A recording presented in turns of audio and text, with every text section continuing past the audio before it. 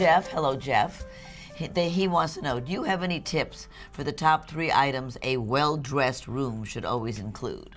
Well, Jeff, I think that's a really interesting question. I think, first of all, any well dressed room is a tidy room. So that's probably the cheapest and easiest fix that you can do for any space. Good lighting is probably the second tip. Have a combination between lighting that falls on the ceiling, like uplights and lamp light, and that balance will really create a sort of a dynamic space. And what about the lights in the ceiling coming down? You don't Though, you don't want to have all of everything. Right. So if you have some recessed light, it's the difference between lights that falls on horizontal surfaces and ones on vertical. And Uh-huh. a balance between the two is always good. Mm-hmm. A lot of apartments these days don't have recessed lights, so I always say in place of that, put up lighting instead Uh-huh. of down lighting in.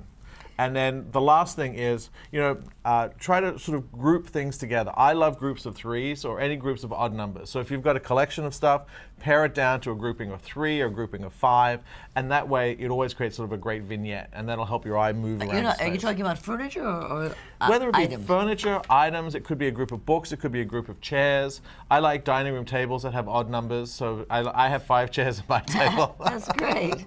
Yeah, so uh, it's a pity that we have six people in the family. That's funny.